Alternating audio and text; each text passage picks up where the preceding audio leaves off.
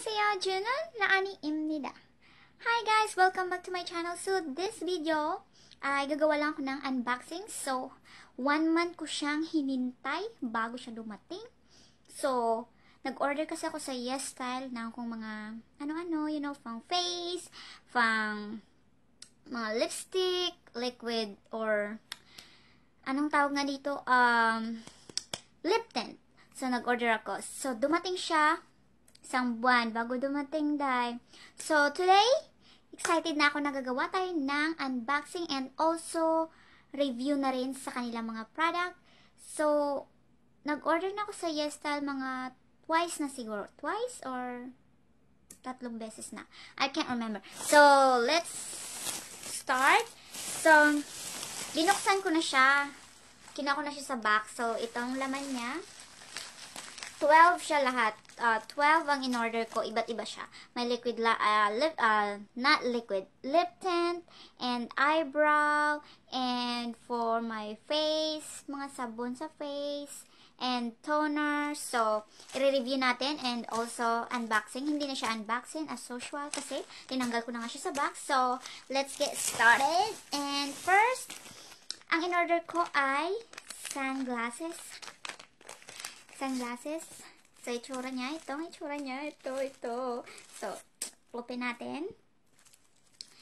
For magandang kanyang quality, mukha siyang mamahalin, pero nabili ko lang siya ng 5 $5 or $10.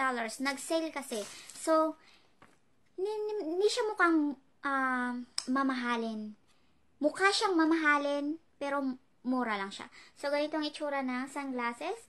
So, try natin. Suot ko. Oh, lakas. Ay, parang tutubi lang. parang tutubi lang, guys. Tingnan nyo. Malaki, pero maganda siya. Hindi na masama sa $7, $10. Maganda siya. So, maganda ang quality. At yung yung ganito ng sunglasses, hindi siya yung katulad na yung malaman mo talaga mumurahin. Kasi yung mga mumurahin, yung parang mabilis siyang alam mo na yung malambot, mabilis siyang maputol. So, ito, maganda siya. Mukha siyang mamahalin, maganda yung quality. And, balik na natin. So, ang next na in-order ko ay, it's, uh, for my, for my lips. Kasi nga, minsan nagda-dry yung lips ko. So, bago ako matulog, lalagay ko to. At, ito yung pangalan ng, uh, ng, ng brand. At, ang sabi sa lipstick ay, and not a lipstick, It's a lip balm.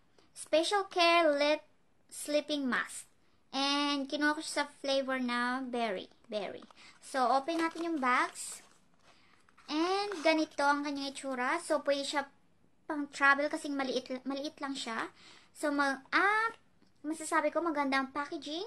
And, meron na siyang English and also Korean. And, sa harap, nakalagay yung brand ng name, yung pangalan ng pangalan ng brand, kung, sa, kung anong pangalan ng brand, at nakasa, nakalagay din ng Special Care Lip Sleeping Mask.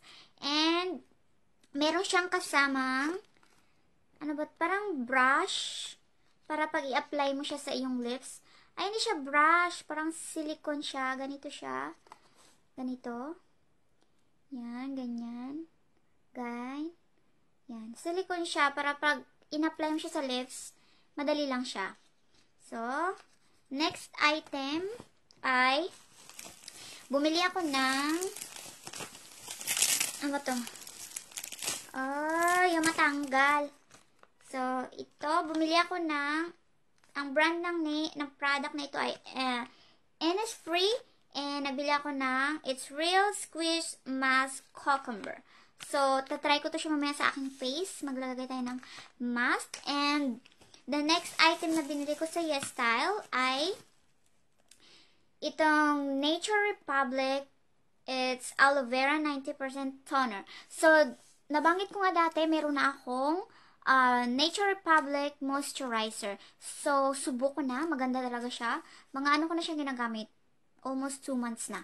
So, try natin ang kanilang toner. Bumili ako. And, bumili rin ako ng Nature Republic aloe vera also na smoothing, no, it's not smoothing. So, um, a gel, like, yung isi-spray mo siya sa mukha mo, yung parang finish.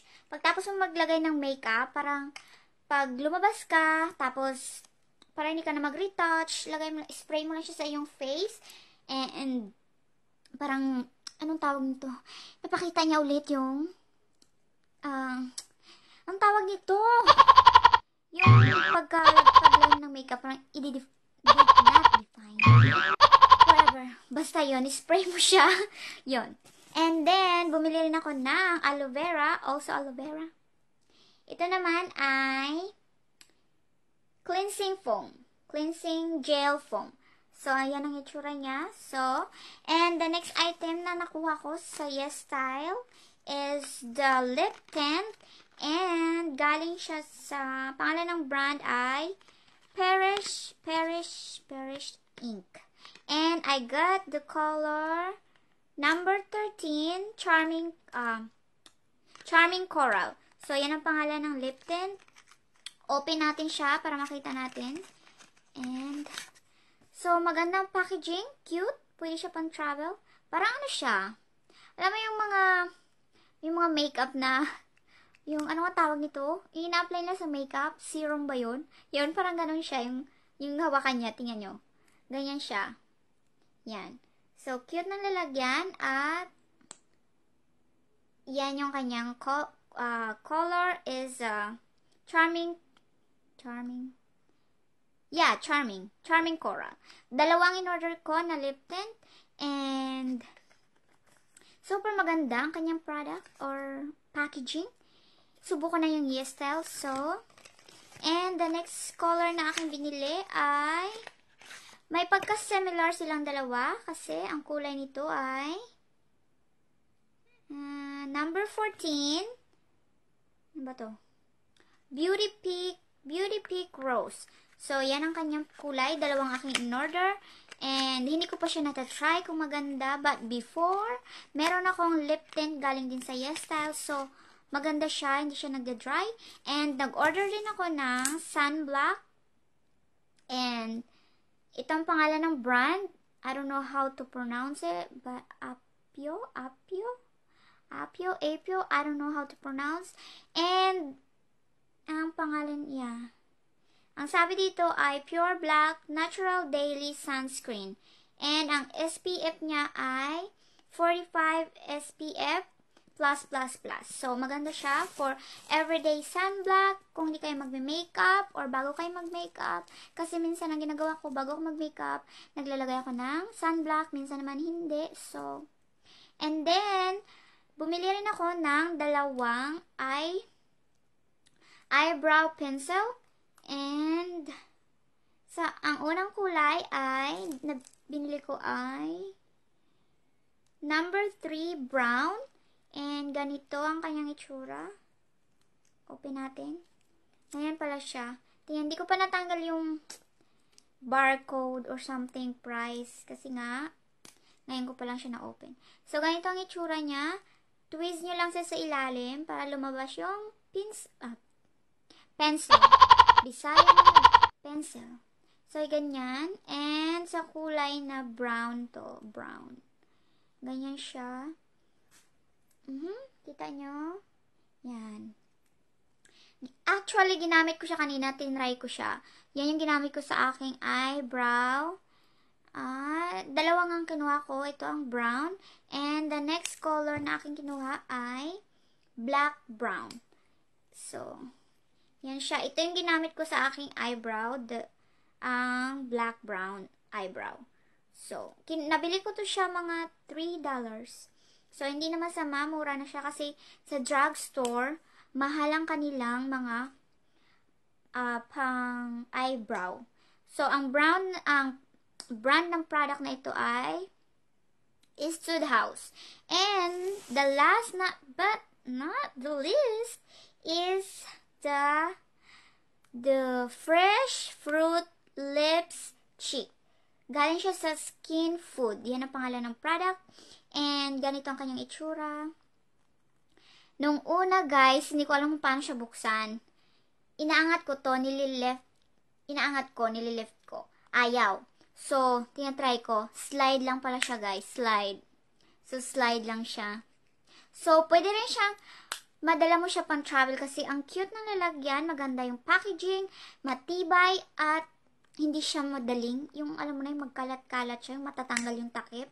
So, pwede daw siyang lipstick and pwede rin siyang pang blush on kasi nakasab ang sabi ay lips and cheek. So, pwede siya pang lipstick and pwede siyang pang blush on. So, ganito ang kanyang mga kulay.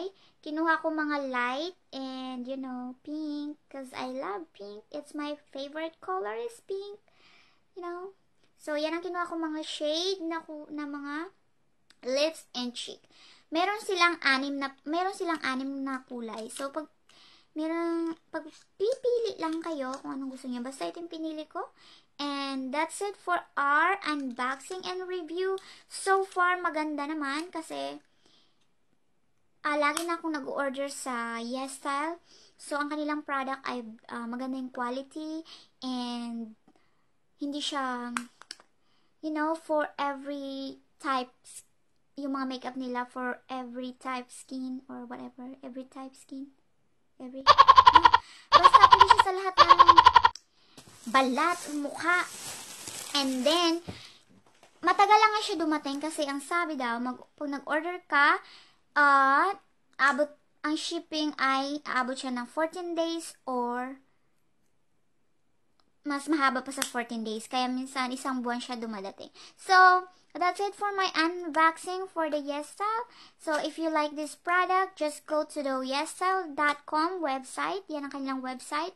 And, nag-sale siya. Kung o-order kayo, minsan marami silang sale. So, nagta-timing lang ako ng kanilang mga sale. But, minsan matagal-tagal ang sale. Kaya hindi na ako nakapaghintay. Pero hindi naman masama yung mga, uh, mga price kasi ano naman siya pang masa. So, that's it. If you like this video, please subscribe and like my videos, I guess. And annyeong! See you to my next video. Bye!